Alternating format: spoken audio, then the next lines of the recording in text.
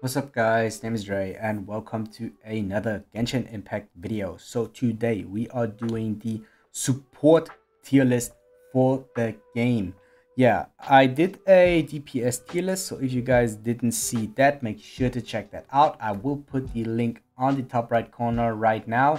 So yeah. Um, now, explanation for support characters. What do I think are support characters?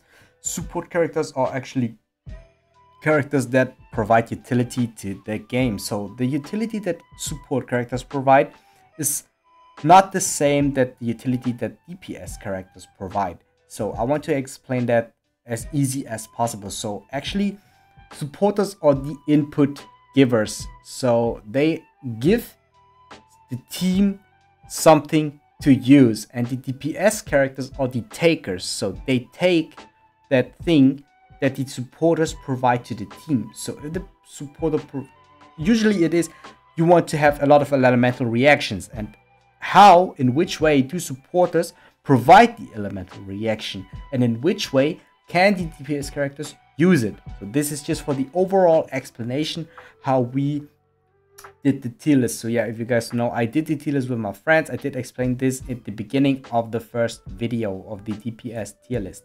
So yeah, make sure to check that out. Uh, now, without further ado, let's just hop into the support tier list, okay? So for the support tier list, I want to add again another row, add a row below, which I want to call the garbage one. So they don't provide any supportive abilities or they don't provide any of the um, utility that supporters should provide for the team.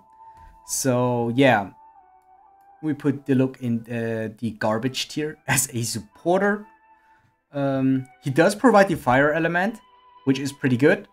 But his kit overall just is for himself, so he's a pure damage dealer. So yeah, that's why he is a garbage one. Then we put Noelle. So we are, uh, don't get us wrong, we all, we did, every one of us did use Noelle at the beginning. I also did use her in the open beta because I did play the open beta quite a lot. And I really do think that Noelle is not a too good character, a character that you like to use over another one. Because she doesn't have anything that you need in the game. So yeah, she doesn't really provide anything except for the geo element. So yeah, we did put her clearly in the garbage tier. We were thinking about the C tier, but after a lot of input, uh, she actually made it into the garbage tier. Referring to the supporters, we put in Ningguang. Ningguang is the one of the better Geo characters.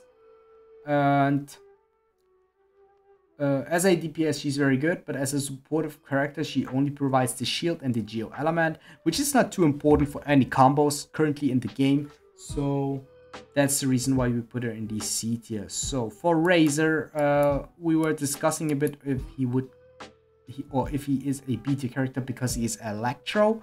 But this kit is very um, for himself and most of the um, sword users, the two-handed sword users, or actually DPS characters that do not provide too much for them.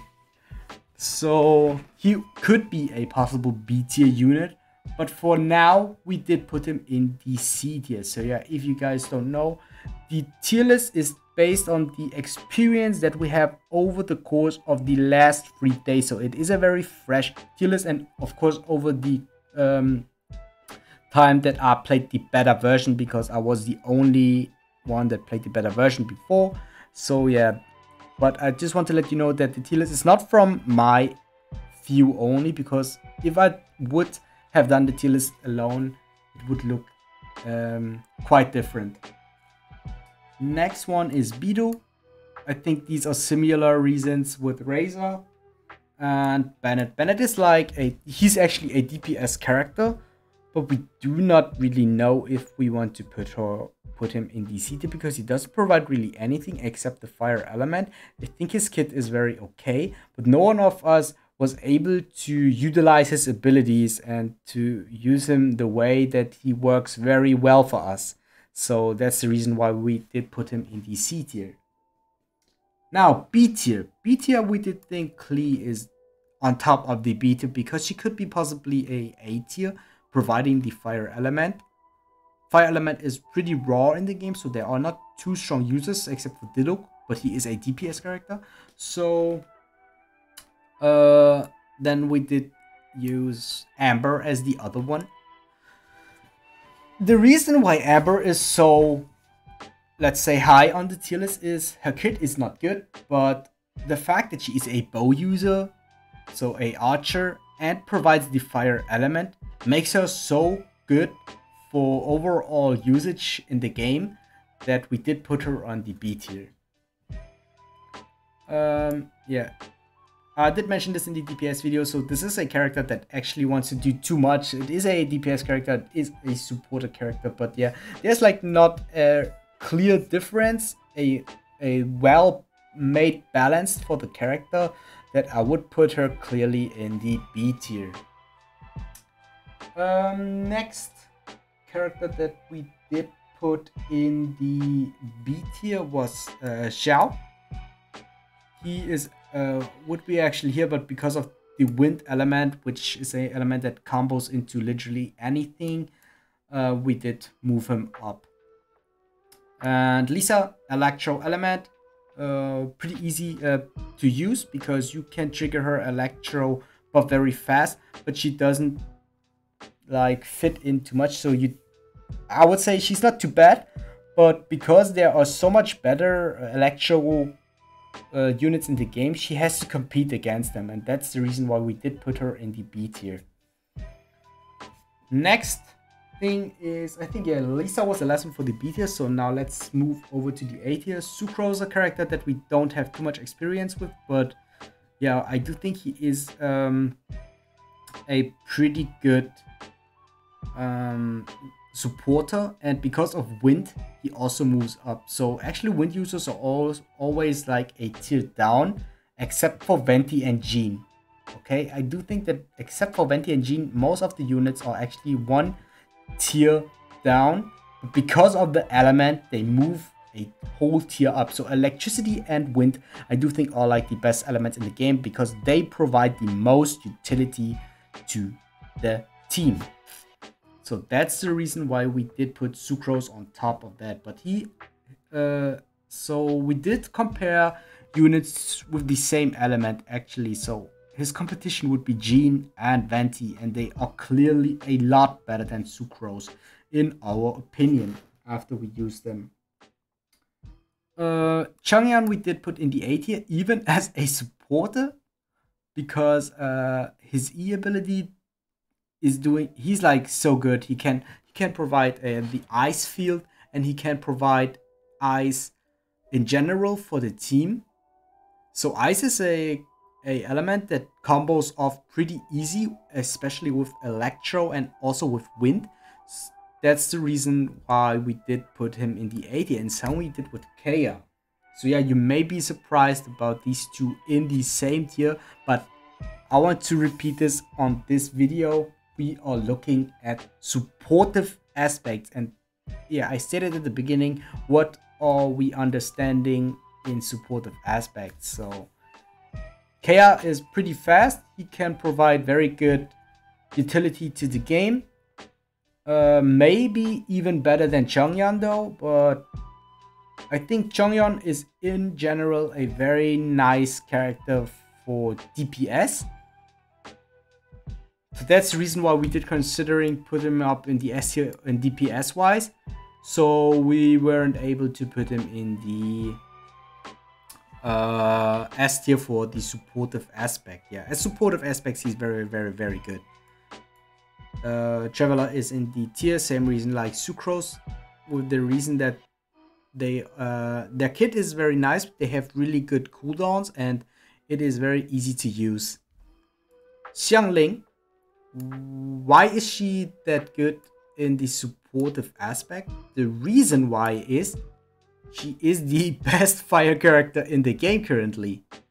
That was the reason for us to put her in the A tier. She is doing quite a lot of damage and she, she provides uh, very nice fire abilities to the game and to the team. So if you want to use fire, she's definitely the best character. She's easy to dupe, she's free to play, and okay, not easy to use, but she's free to play. But uh, and you can use her and utilize her. If you learn and utilize her abilities, she is definitely very worth to play in the team. Yeah, I hope this makes sense in a certain way.